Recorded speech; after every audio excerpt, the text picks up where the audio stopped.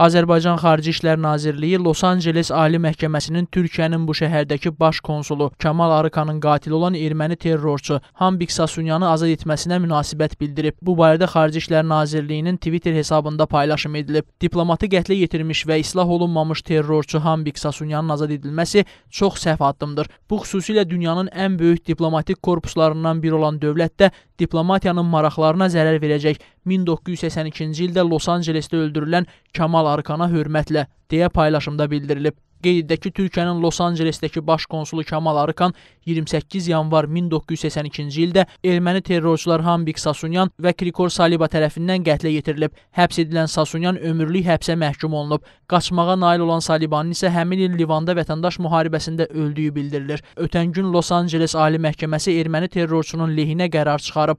Türkiyə Xarici İşlər Nazirliyi bu qərara kəskin reaksiya verib.